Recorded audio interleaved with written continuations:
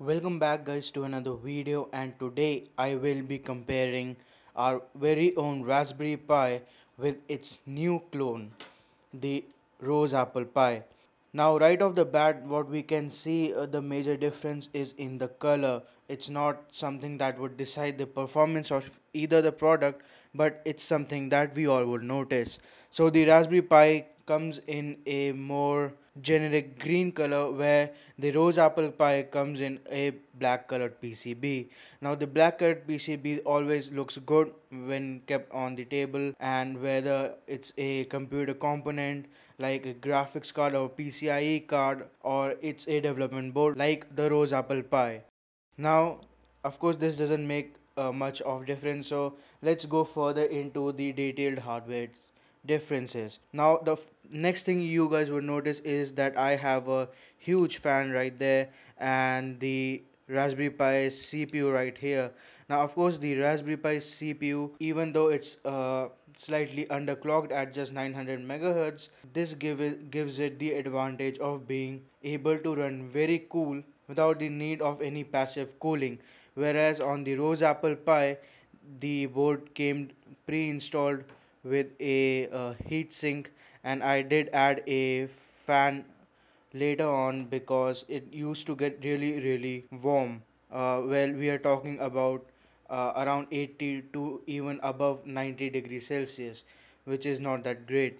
So let's remove the fan for now and let's get to further differences now in the cpu specs we have the broadcom 2836 which is a quad core Cortex A7 running at 900 megahertz.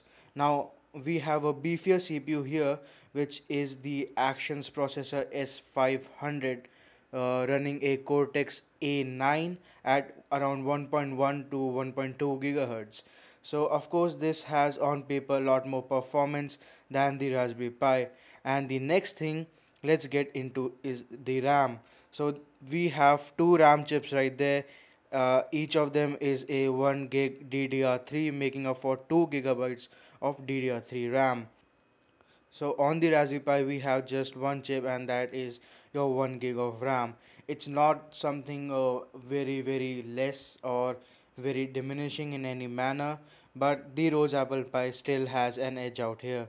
Now furthermore the hdmi ports are placed almost at the same area on the PCB but Pi can output only up to or a little bit more than 1080p whereas the Rose Apple Pi technically and also pending software support is capable of 4K output at 30 FPS. Now if we go a little bit more on the detail we have a few extra uh, ICs on the Rose Apple Pi.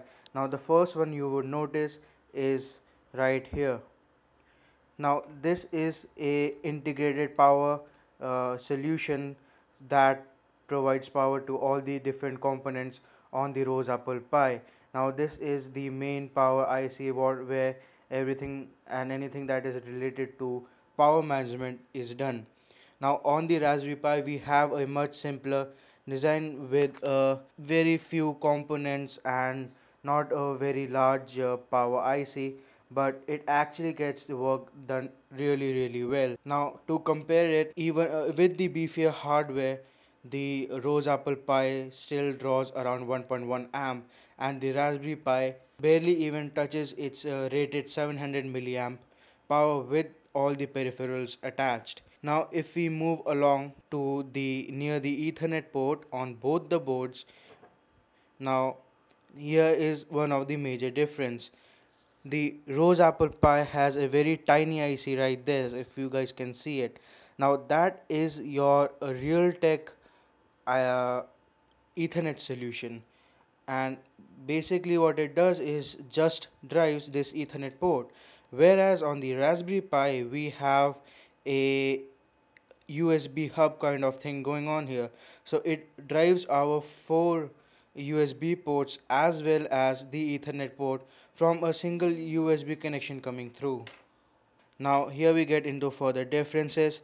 The Rose Apple Pi has two USB 2 and one single USB three port. so that means a lot more bandwidth on the USB side.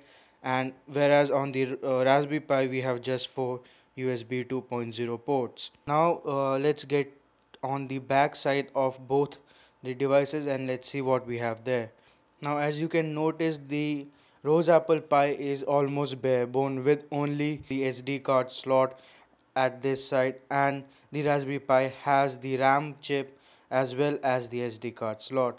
Now one more thing that you might notice with the Rose Apple Pi is this unpopulated area which might uh, at some point uh, house an eMMC storage which is a lot lot faster than your regular SD card. So that's about it guys for the hardware overview of Raspberry Pi versus the Rose Apple Pi. Hope you guys enjoyed this video. Put a thumbs up, comment and also subscribe to the channel. Thank you very much and I'll see you next time.